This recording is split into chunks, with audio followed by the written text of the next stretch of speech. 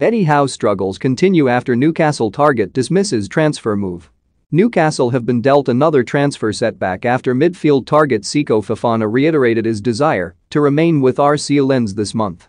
The Magpies find themselves perilously positioned in the Premier League's relegation zone, and a 1-1 draw with Watford on Saturday has left them languishing in 19th place.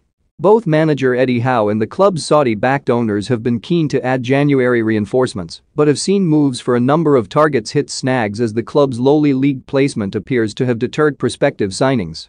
The arrival of Kieran Trippier at St James Park from Atletico Madrid in a £12 million deal was followed by the signing of Burnley's Chris Wood for a whopping £25 million, but one player who doesn't look to be joining this month is Fofana.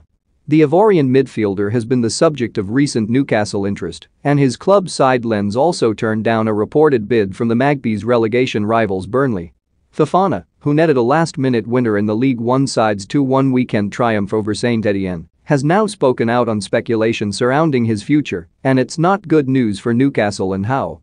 My wish is to continue the adventure and to go as far as possible, the 26-year-old told Eurosport France via Inside Football. I always said that I feel good here.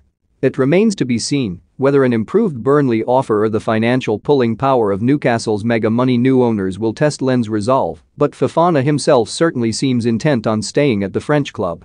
The player has shown in League One since making the move from Serie A side Udinese on a four-year deal back in the summer of 2020 and has notched an impressive 8 strikes across 23 appearances so far this term, helping Lens to 6th in the league standings.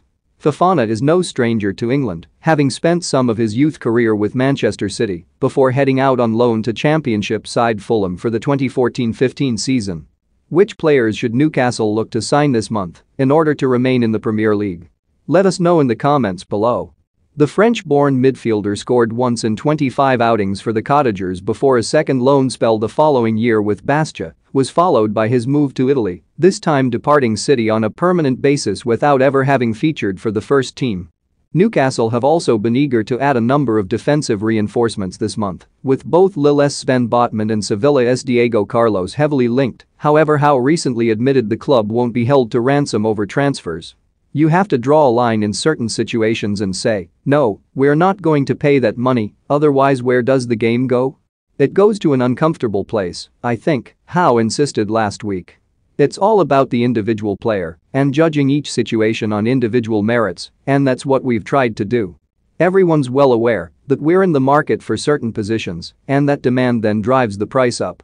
There's nothing we can do about that. The window continues to surprise everybody, I think. But you just have to live in that world. We have the needed players that we've identified and managed